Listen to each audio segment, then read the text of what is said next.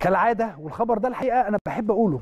ليه؟ لأنه خبر بيبقى مهم بالنسبة لي وبالنسبة لكل اللي عايز يفكر هو ليه موسيماني مدرب ناجح؟ هو ليه موسيماني نجح مع النادي الأهلي حتى الآن ناجح مع النادي الأهلي؟ ليه؟ لأنه الحقيقة من المدربين اللي بيهتموا بالتفاصيل جدا. بمعنى إن موسيماني ده بتلاقيه بي بي بيشوفك لابس آه، sorry يعني جزمة شكلها عامل إزاي؟ الشنكار بتاعك بيبقى عامل إزاي؟ بيتكلم في كل حاجة. ده أنا سمعت الكلام ده منه من ال- من بعض اللاعبين في الفريق.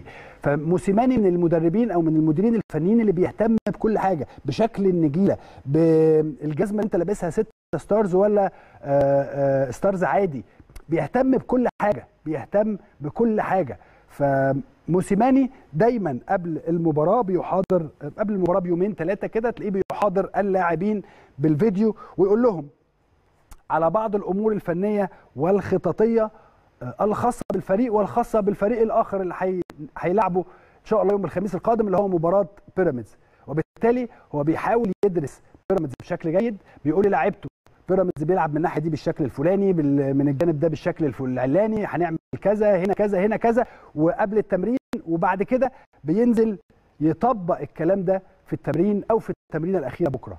فمدرب ذكي مدرب آه، بيعرف إن هو يتعامل مع اللاعبين الحقيقة من الواضح إن هو بيتعامل مع اللاعبين مع اللاعبين بشكل نفسي رائع جدا لأن تحس إن كل اللاعبين اللي حتى اللي بيلعبوا اللي بيلعبوا واللي ما بيلعبوش. يعني أنا في لقطة جبتها لحضراتكم امبارح أو أول امبارح وليد سليمان وعلي لطفي. لو اللقطة دي معاك يا سمير حطها لنا برضو الصورة.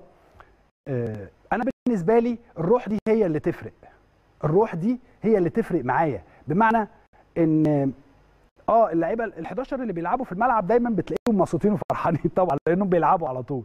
ولكن اللاعبين اللي خارج الملعب بيبقى ليهم دور كبير جدا جدا جدا خصوصا اللاعبين الكبار اللي زي وليد سليمان اللي للأسف الحقيقة جاله آه، آه، آه، شد في العضلة الخلفية.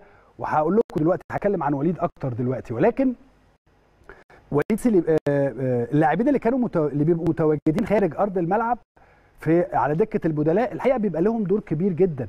شوفوا فرحة وليد سليمان وعلي لطفي لما الجون الأول دخل للنادي الأهلي لصالح النادي الأهلي في مباراة الترجي الأخيرة. هنجيب لحضراتكم الصورة دلوقتي. الحاجات دي علامات لما تيجي تتفرج عليها لو انت من اللي ما بيشجعوش النادي الأهلي هتتعلم من الكلام ده. لو انت من اللي ما بتشجع ما بيشجعش النادي الأهلي هتتعلم من الكلام ده لأن الكلام ده هيفيدك الفترة اللي بعد كده. تحاول تخلي ال- الروح واحدة.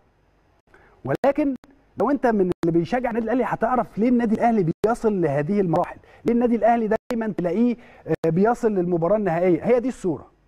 تخيل حضرتك الاثنين دول علي لطفي ووليد سليمان الاثنين موجودين على دكة البدلاء واحرز الهدف الأول آه، آه، من ركلة جزاء علي معلول. شوف فرحتهم عاملة إزاي. بص حضرتك على الفرح هل دي فرحة واحد عنده حاجة مضايقاه من جواه؟ هل دي آه طبعا هو متضايق. اللعيب اللي ما يتضايقش إن هو ما بيلعبش ده ما يبقاش لعيب كورة ويبقى موظف وده ما بيحصلش جوه النادي الأهلي. لكن الاثنين لعيبة دول بصوا حضرتك فرحانين إزاي ومبسوطين إزاي على الرغم إن هم متضايقين طبعا إن هم ما بيلعبوش. ولكن هو مبسوط إن فريقه بيكسب.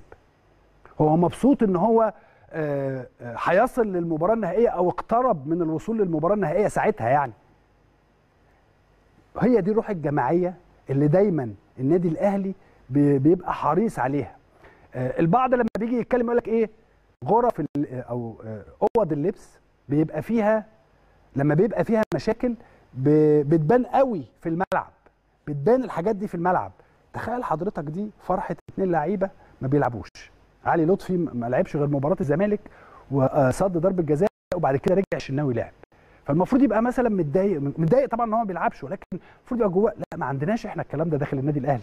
النادي الأهلي ما بيحصلش فيه كده. الفرحة اللي حضرتك شايفها دي فرحة طبيعية وفرحة حقيقية. فرحة طبيعية. الواد يعني الواحد فيهم قاعد ويعني موت نفسه كده تحس إن هو آه، عايز ينزل الملعب. فهذا هو الفارق بالمناسبة ما بين النادي الأهلي وأي حد. أي حد بقى قول زي ما تقول قول اسم أي فريق في مصر أو في أفريقيا أو في الوطن العربي هو ده الفارق ما بين النادي الأهلي وأي فريق تاني. الروح الجماعية والإصرار على الفوز والمكسب و... وإن إحنا عايزين نكسب على طول هو ده الفرق ما بين النادي الأهلي. فالحقيقة موسيماني ماشي آه، بخطى جيدة جدا. نتمنى له التوفيق في الأربع مباريات اللي جاية.